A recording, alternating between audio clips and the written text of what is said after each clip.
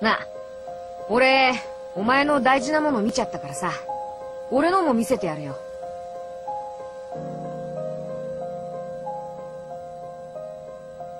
これ、クロウ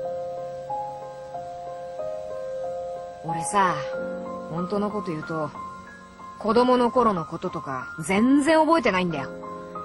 だからさ、この写真に写っている場所に行けば、俺自身のこと、なんかわかると思うんだよな。で、結構長い間探してるんだぜ。きっとこの近くなんだ。俺、なんとなくわかるんだ。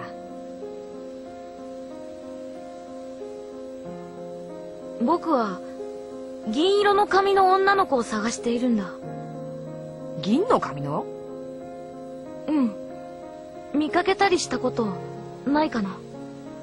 うーん。知らね。そっか。あー、待て待て。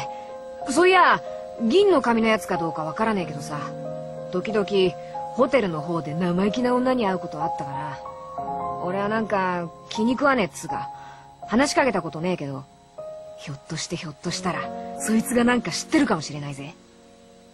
うん。じゃあ、その人に会いに行ってみるよ。おうよ。俺は、写真の場所を探しに行くぜ。なんか、お互い飛んだ道草だったな。だってそれは君が。だから悪かったって。あの、あの、また会えるかな？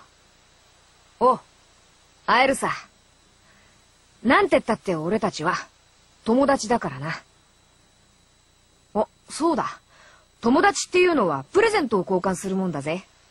つっても、俺はお前のものを取って散々意地悪しちゃったからな。これ、やるよ。銀のドクロの指輪？お前のロケットに入れとけよ。な。ありが、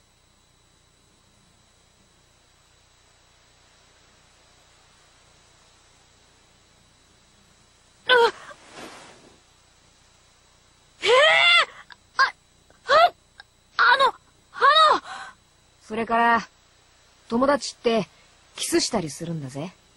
俺、本で読んだんだ。キスって、僕、初めてで。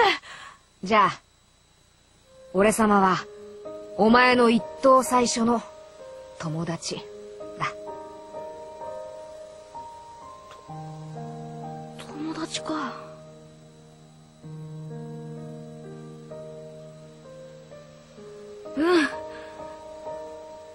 友達だね。おうや。